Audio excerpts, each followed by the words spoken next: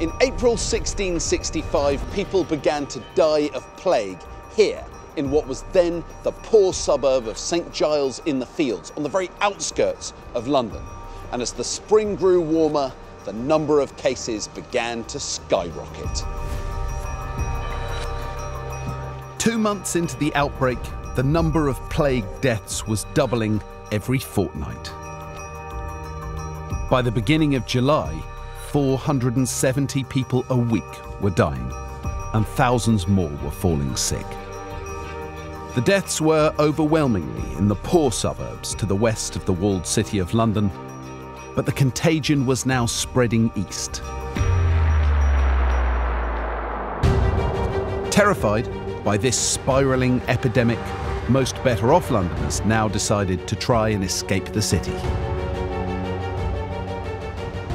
Tens of thousands of people fled London in the greatest exodus in the city's history. The people that fled were those that could afford to. The merchants, the lawyers, the professional classes, and the streets were clogged with coaches and carts piled high with servants, clothing, and prized possessions. Almost every noble family also escaped London, including King Charles II, who fled to his palace at Hampton Court, 10 miles away. Mostly, it was the poor who were left behind. They had no choice. They needed to keep working to survive, and they had nowhere else to go. And it was in the back alley slums where they lived that the plague was already most rampant.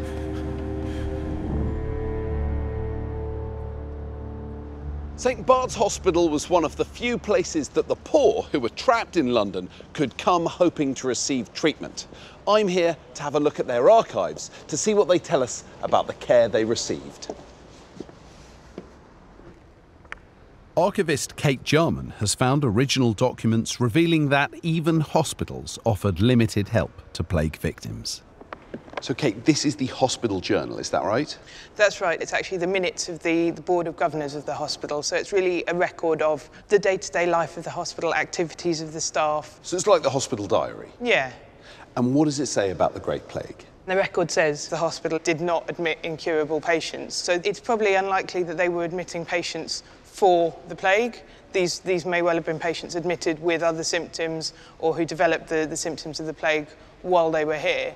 In fact, the hospital was implementing measures to keep contagion out, locking the gates early uh, and, and making sure that goods brought into the hospital were as risk-free as possible. One of the uh, interesting things is, is the record of what was happening with the medical staff. So here we can see the governors have ordered that the £100 due to Dr Micklethwaite and Dr Turns not be paid to them. And that's because they'd actually left London. They'd decided that the, the city was, was too contagious, and in common with a lot of people of their class, they would have got out of town. I mean, I can understand why they left, but it doesn't feel like what doctors should be doing. Yeah, but I think what's also interesting, really, is the stories of those who did stay. People like Margaret Blake, who was the, the matron of the hospital at that time. So she was responsible for the 15 nursing sisters who looked after the wards of the hospital.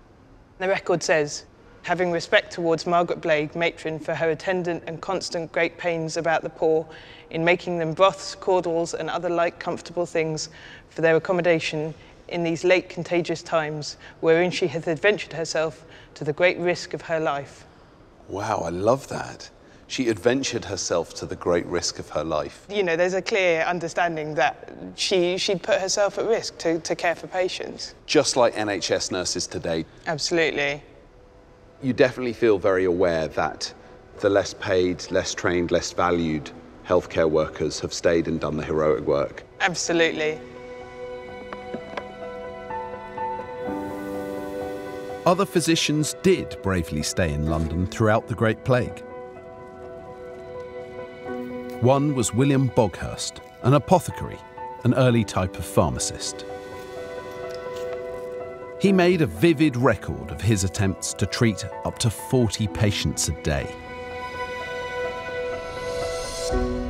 He dressed buboes, the swellings that formed on necks and groins. He held people as they thrashed and raged, overcome by unimaginable pain and fever. And he stayed with them in their final hours, closing their eyes when they died.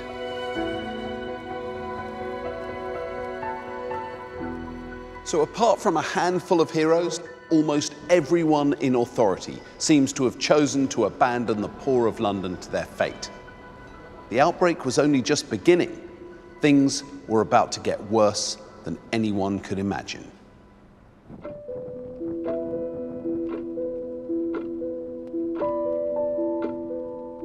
In mid July 1665, the official number of weekly deaths in London surpassed a thousand.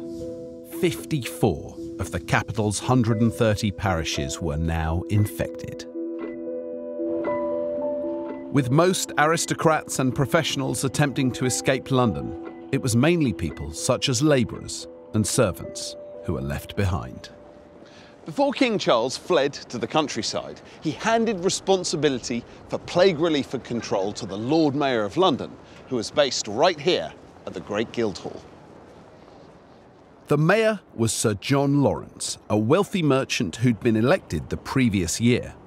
He now had to enforce regulations to try and control the spread of the disease. One of the Lord Mayor's jobs was to issue certificates of health to the thousands of people wanting to flee London. Without these certificates, they'd be turned away from inns, they might even be turned away from towns and villages by guards. So thousands of people gathered here, desperate to prove they weren't sick and to get their certificates. The author Daniel Defoe tells us there was no getting to the Lord Mayor's door here without exceeding difficulty, such was the pressing and the crowding. But unfortunately, those conditions are ideal for the transfer of human body lice, and many of the people trying to escape the plague may have caught it right here.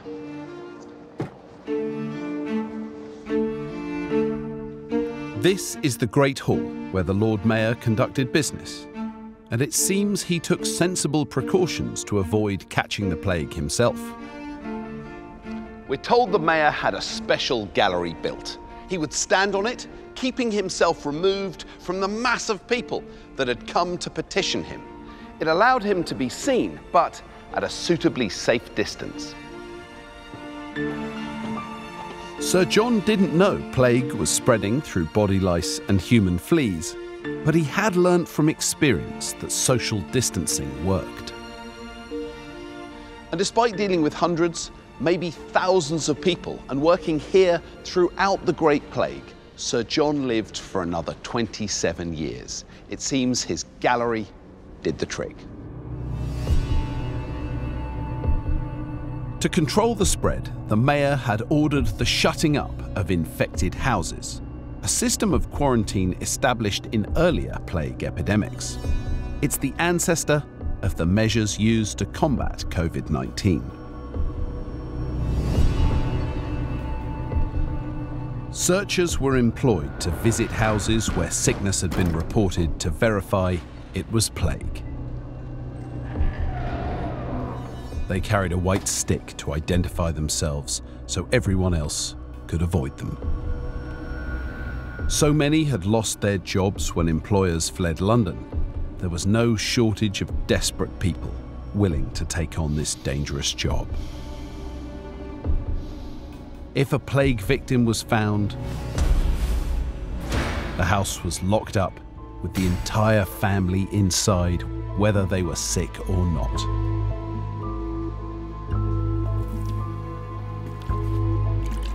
A red cross was then painted on the door. Along with the prayer, Lord, have mercy upon us. Watchers then guarded the house day and night to ensure no one escaped.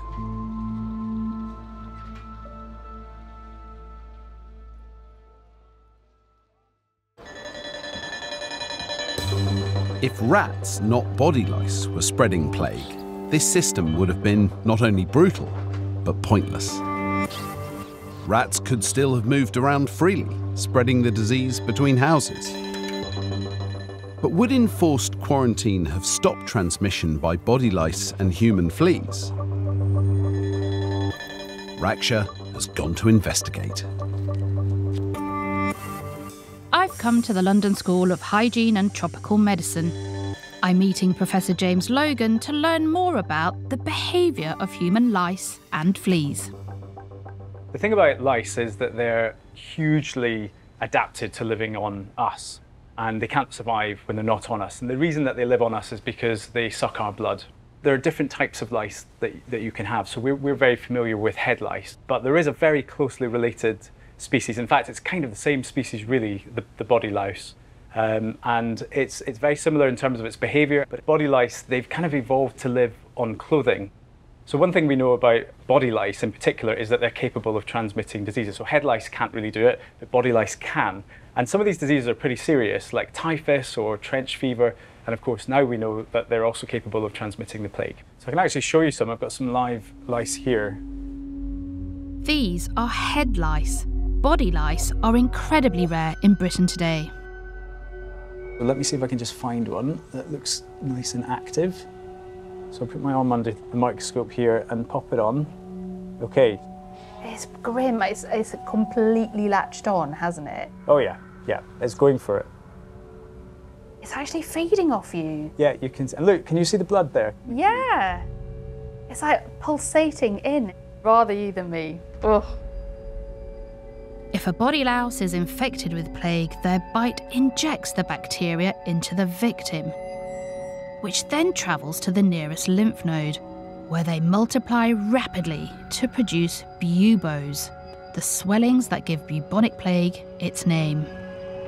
If you've got body lice, how then do you then spread it to me? They are incredibly infectious. Uh, they're designed not just to live on us, but also to spread to other people as well. They've got hooks on the end of their feet, essentially, on the end of their legs, uh, which they use not just to cling on, but to cling on to something passing by as well. Imagine if I had thousands and thousands of lice, they would get onto you pretty easily. But some of them can actually even crawl. We reckon they can crawl sort of four or five meters in a day. And when they're off the host, they're incredibly uncomfortable. So they're going to do everything that they possibly can to get back onto something that's alive and going to give them blood. If sick people's clothes were infested with body lice, they could spread the disease by simply brushing past someone. And following death, the infected lice would leave the corpse in search of a new host. Okay, so that was lice. What about fleas? Well, I've got some fleas here. There are lots of different types of fleas. So some fleas are adapted to live on us and feed on our blood. Other fleas are designed to live on other animals like rats or, or cats or dogs. For a hundred years, it was believed only rat fleas could spread plague. But the new research has revealed human fleas can pass it directly, person to person. Look, it's got those jumpy long legs, hasn't it? Yeah, that's right. And that's what everybody associates with fleas is their brilliant ability to jump and hop around the place. And that's how they get onto us. So they don't live on us like body lice do. These guys actually live in the environment. So they'll live in, in your home, in any sort of upholstery or textiles. Then when a host comes along and it feels the vibration and it senses the carbon dioxide given off by our breath, uh, it kind of wakes it up and it will come out and, and start to blood feed on us. They don't tend to go very far. They will move around a little bit, but they wouldn't tend to move from house to house themselves.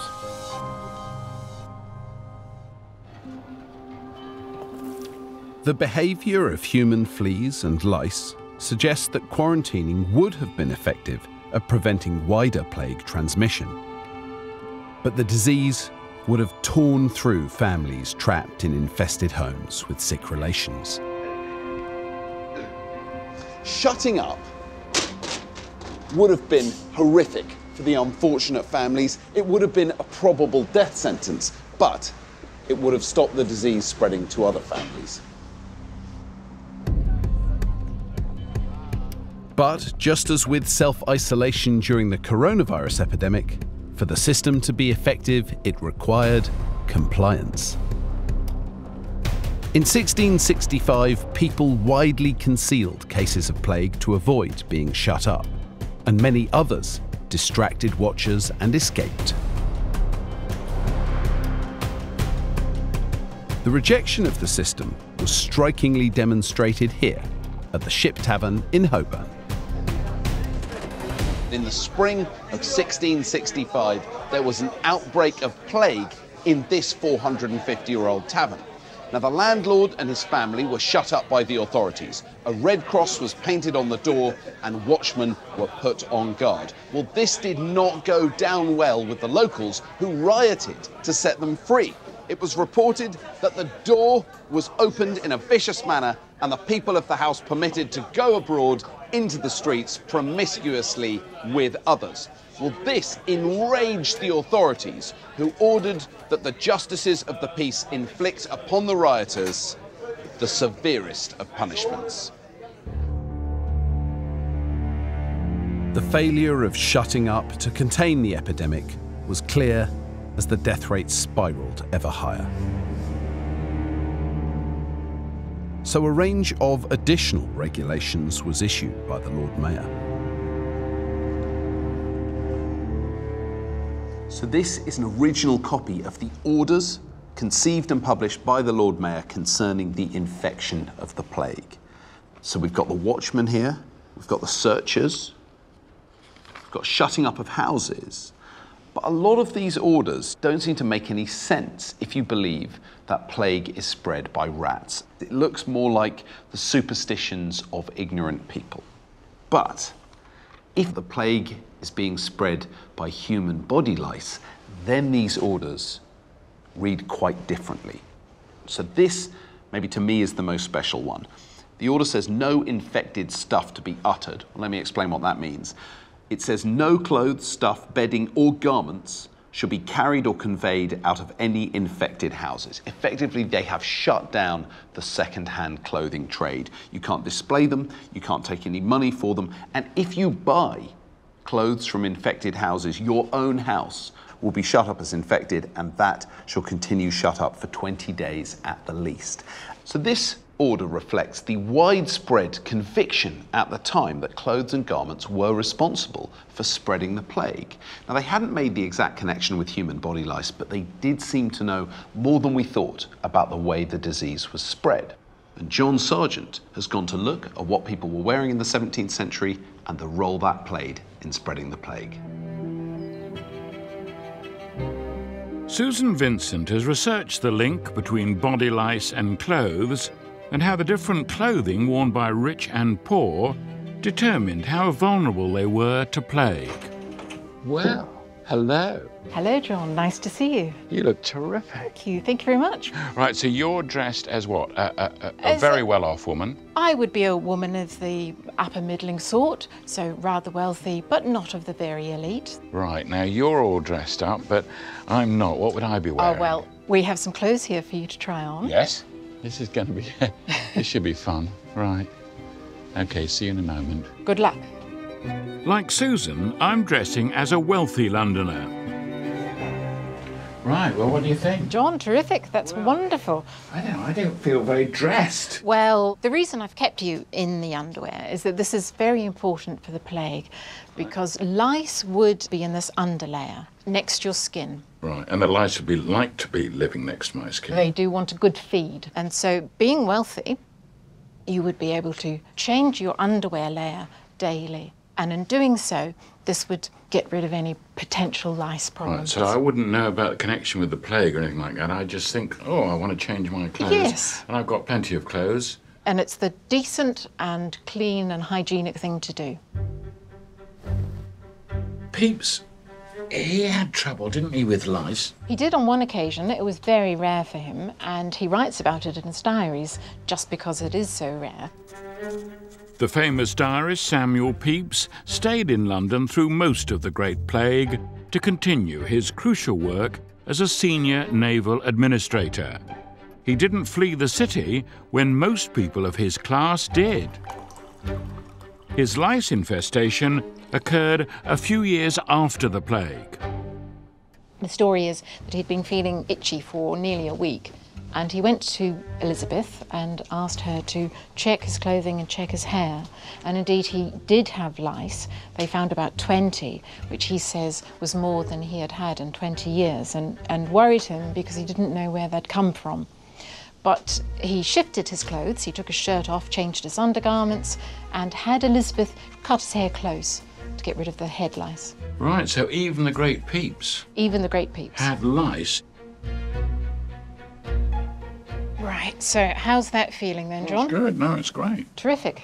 Well, you're not quite there yet. We still have one more piece to come, Right. and that's your wig or your periwig. Periwig, right. Sometimes they call it a peruke. Okay, how's that? I don't want to cover your eyes there. Well, So the wig is rather splendid, but you do have to be careful with wigs because Pepys had just begun to wear wigs, and he was particularly worried during the plague that the hair had been cut off someone who had died of the plague. A good cheap source of hair. grim. Grim indeed. The rich, like Pepys, were understandably deeply concerned about the possible ways of contracting plague. But the fact body lice infestations for them were so rare made them much less susceptible to the disease. However, it was a very different situation for the poor. How's that feel then? It's, it's good, but it's quite smart, isn't it? Well, you've got to remember that this might be your only outfit of clothes, and so you, it's looking good now, but after you've worn it continually during the day, it would be a lot less smart. And when I go to bed at night, what happens then? Well, your shirt underneath, if you were very poor, you would sleep in your shirt. So if there were lice inside the shirt, and this was my only shirt, I would go to bed and the lice would breed. And um, you would be stuck with them sitting against your body day and night. Yeah, pretty awful. Definitely. But while the poor would suffer most as the plague continued its rampage, soon no one would be safe. And that included those rich people who had decided to stay in London.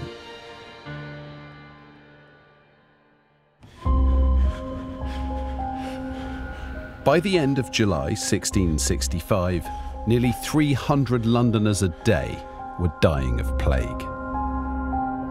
The disease had spread from the western suburbs to almost every area of the city. The northern suburbs of Clerkenwell and Shoreditch were now the worst hit. The death toll reached 6,774. Samuel Pepys was one of the few wealthy elite who had stayed in London.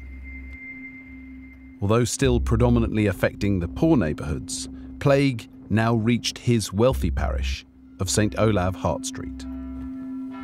He says he heard the death knell ringing out from his church five or six times a day.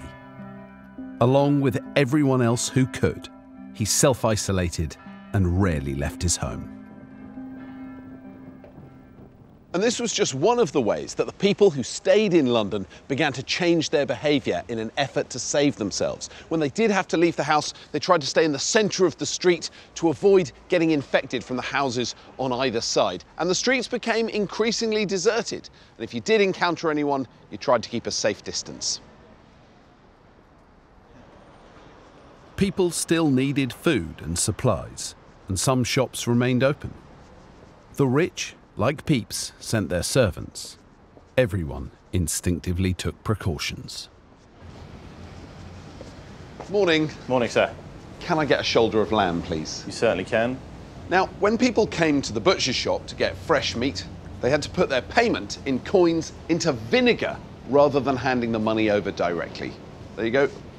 Unlike COVID 19, plague is a bacterium, not a virus. And vinegar does have antibacterial properties, although it's not known if it kills plague. Thank you very much. Shoulder lamb's hanging just over there, sir. The shopper would then take their purchase directly off the hook, avoiding any personal contact with the butcher. It's the same social distancing we use in epidemic control today.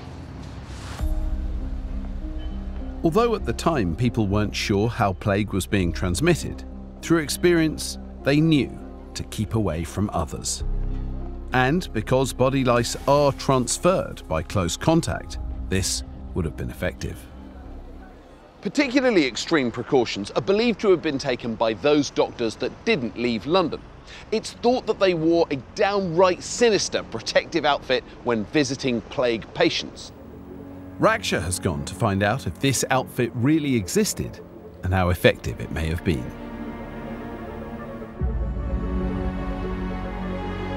I've come to the London dungeons. Here they have a replica of a plague doctor's clothing as part of their creepy Plague Street experience.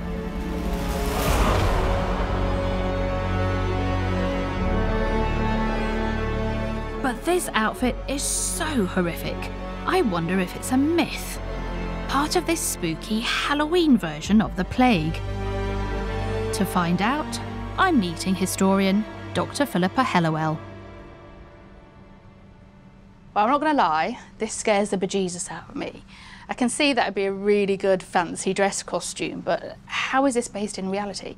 So there are a lot of sources from the 17th century which suggest that plague doctors walked around in an outfit similar to this. So where does this costume actually originate from then? It was developed by a French physician called Charles de Lorme who served three successive French monarchs. This is actually a German source talking about the use of this costume. The gentleman here is described as Dr. Beak, so this outfit relates to the very common theory of miasma, which is the idea that disease is caused through poisonous vapours going through the air. And we can see that reflected in the mask, this kind of beaked quality of the mask. It's designed to actually store sweet smelling substances, perfumes, things like lavender, which are designed to kind of protect the wearer from those bad, those poisonous, foul smelling odours from coming into the body. And also we see that the majority of the body is covered as well. What was this all made out of? So this would typically be made out of cotton or linen, which was sealed with wax.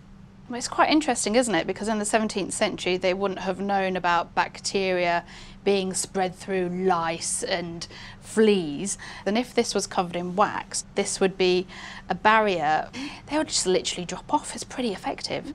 We do have the 17th century monk in Genoa who is saying how wearing something like this, you know, protects him from being bitten by fleas and lice. Um, and so it certainly had its practical advantages. I'm going to put this on. do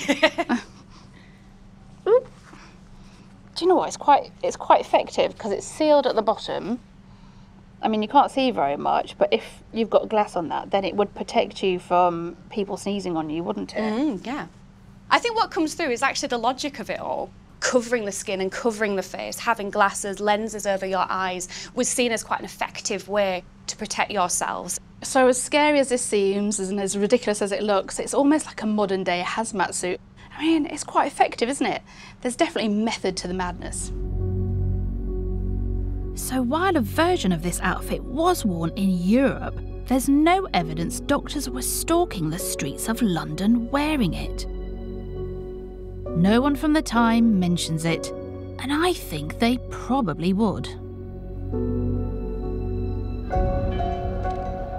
In the second week of August 1665, there were a shocking 3,880 plague deaths. About 6% of Londoners who'd stayed had now died. It was still the poor northern suburbs around Shoreditch that were bearing the brunt, and a majority of their population were now falling sick.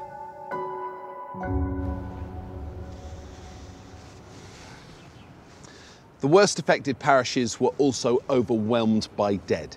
Some of them had to somehow bury 600 people a week. They didn't have the manpower to collect all the bodies or dig all the graves, and many of the churchyards were completely full.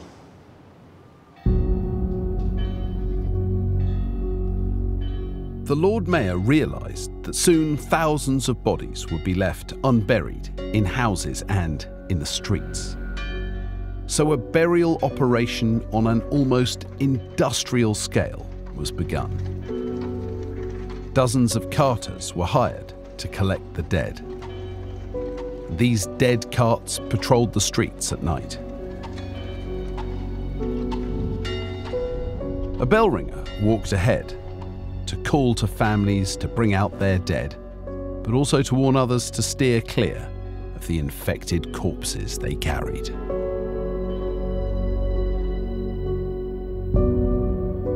These were then transported to huge burial pits that had been dug outside the city walls. According to the famous author Daniel Defoe, one of the greatest pits of all was dug here next to the church of St. Botolph in Aldgate, just outside the old eastern city wall. Daniel Defoe tells us that this dreadful gulf was actually beneath my feet. It was 40 feet long, extending almost to the end of the alley. It was 15 feet wide, so about the width of this alley, and it was 20 feet deep. They only stopped digging when they hit the water table. To find out who was buried in this pit, I'm meeting plague historian Vanessa Harding. Hi, Vanessa. Very nice to see you. I've just been pacing out the plague pit outside. I think you've got the, the church records from the same period. Yes, these are the registers for September 1665. And what kind of things are we seeing at that time? This is one of the largest parishes and it's one of the highest death tolls anywhere. We start on this page. This is the 8th of September. This is one day. Starts there, Mm-hmm. runs right down this page. Something like 90 people are buried in one day. I mean, that's amazing. Yes. So 90 deaths in a single day. Yes. There's no way you can put those people in normal traditional graves and have funerals, is there? No, no.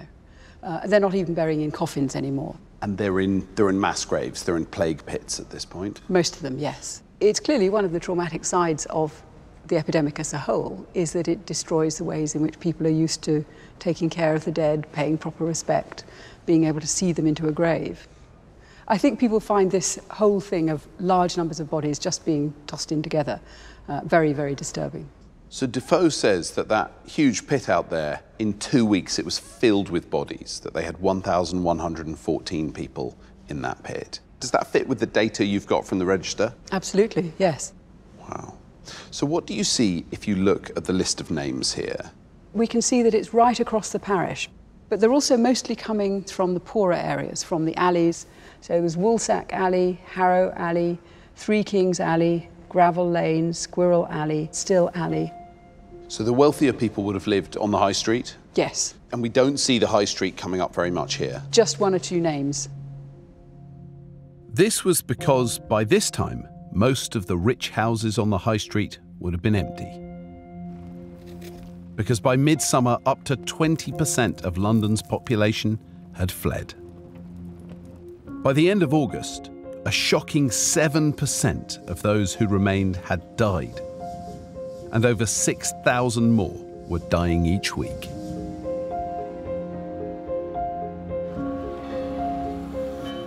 Anyone who'd stayed in the city was now losing friends and family. Thomas Vincent was a Puritan minister who lived in Spitalfields throughout the plague in a household of eight people.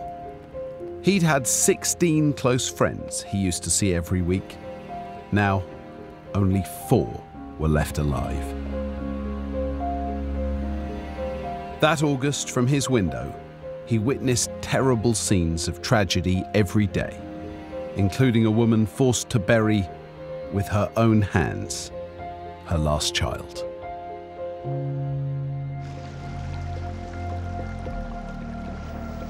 You couldn't walk through London that terrible August without coming across plague ridden people limping through the streets. So Samuel Pepys preferred to travel by boat on the Thames to avoid the sick. But he got a terrible shock one evening coming up the steps from the river when he stumbled upon a plague corpse in the darkness.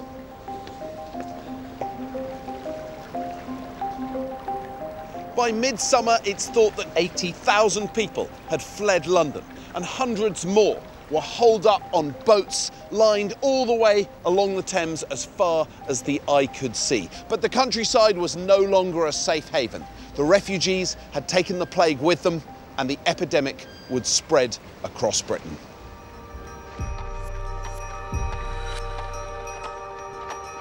In the first week of September 1665, 7,000 people died of the plague here in London. It was a far higher death toll than on any previous week. 31,000 people had already died in London alone. And worse was to come, because now the disease began appearing in other towns. I believe people fleeing London had carried it with them on their lice infested clothes. Most towns near London saw outbreaks. Infected goods were blamed for causing particularly severe epidemics in the cloth making towns of Braintree, Colchester, and Norwich. Most were in the south and east of England, but one outbreak stands out from all the others.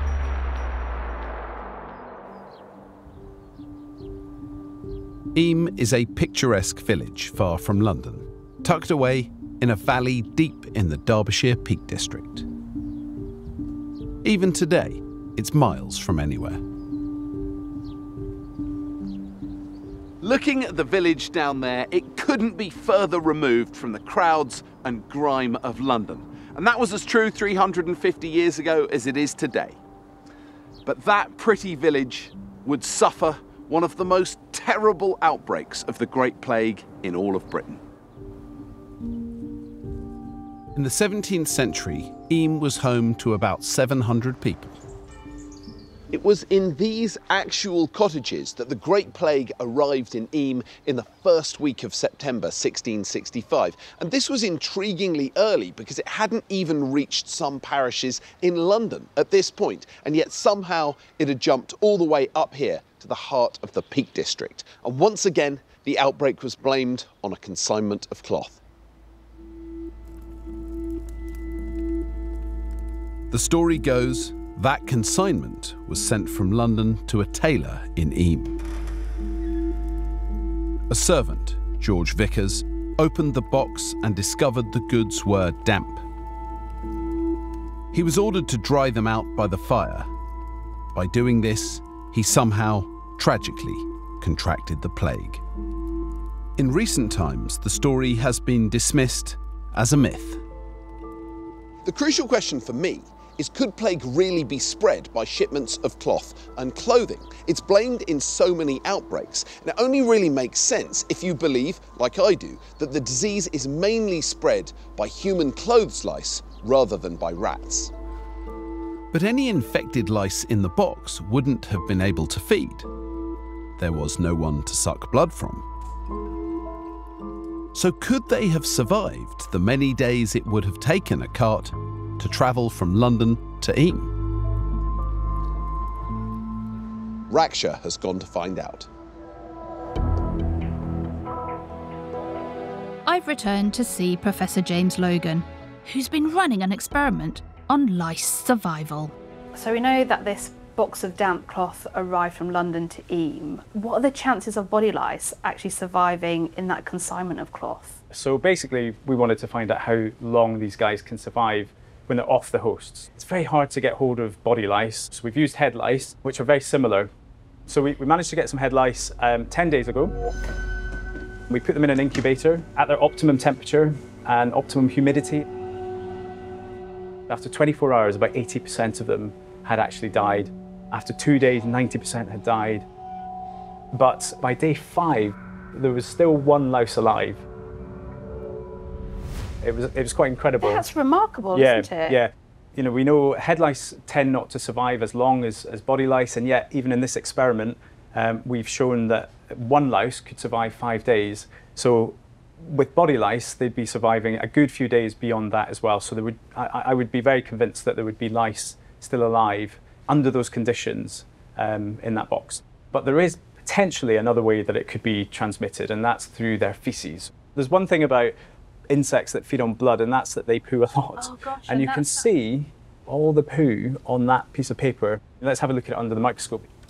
So you can see how much poo there is there. I mean, they're absolutely minuscule. You can barely see an individual Mm. poo uh, with the naked eye, but there you can see how many there are. And inside that poo, uh, the bacteria can actually survive and be transmitted onwards. And basically, what happens, because it's really, really dusty, if you were to sort of shake the cloth, the poo would be airborne. It could go into your into your lungs and infect you that way. Um, or if you've got a cut on the skin, the poo could get in that way, which means the bacteria would get in, and that's another way that the infection possibly could have started.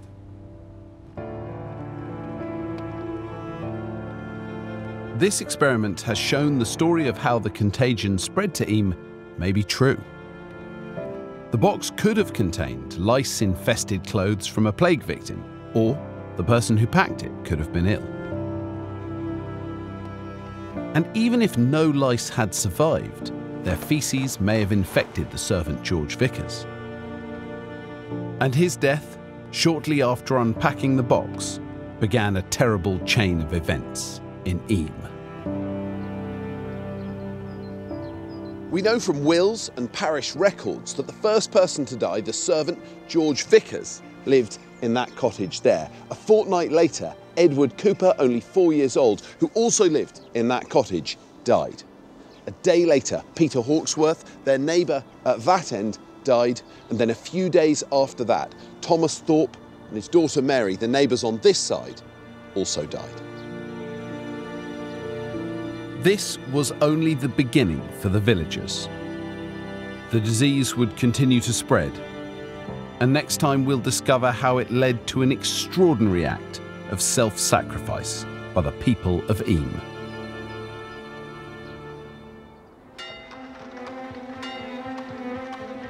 In London, the death rate remained unrelentingly high. By the 11th of September, over 37,000 people had died. In desperation, the Lord Mayor ordered great bonfires be lit in the streets, in the belief that the smoke would drive out the miasmas thought to be spreading the disease. Samuel Pepys watched in awe and fear as they blazed across the city. But of course, it was hopeless. The epidemic still had not reached its peak.